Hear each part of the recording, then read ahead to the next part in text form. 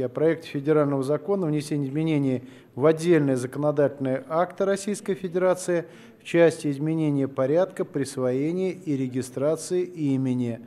Выносимый на ваше рассмотрение данный законопроект подготовлен с целью установления правового баланса между правом родителей и правом ребенка на имя, которое бы не нарушало его человеческого достоинства, его права на развитие, его право на нормальную жизнь.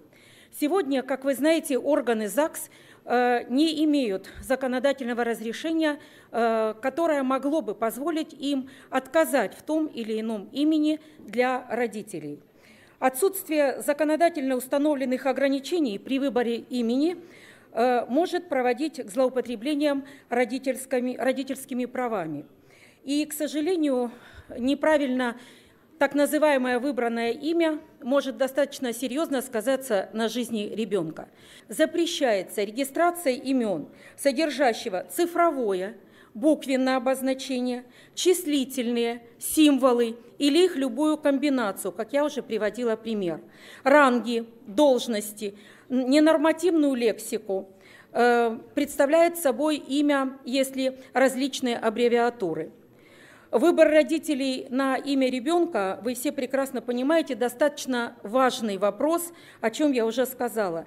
И он должен иметь, безусловно, законодательное разрешение. Конечно же, э, нужно учитывать э, и традиции, и национальные особенности, характерные для различных регионов Российской Федерации. Принятие законодательного законопроекта, э, о котором я сейчас говорю, э, позволит обеспечить более эффективную государственную защиту конституционных прав несовершеннолетних. Уважаемая Валентина Александровна, законопроект вызвал очень широкое обсуждение в Республике Татарстан, моей республике. Дело в том, что имена, относящиеся к категории аббревиатур, в силу разных причин очень распространены в Республике Татарстан. Известные деятели науки, культуры, известные на, мир, на весь мир врачи, спортсмены названы этими именами, да и депутаты Государственной Думы седьмого созыва. По данным органов ЗАГС по Республике Татарстан за 2016 год этими именами названы 5215 детей.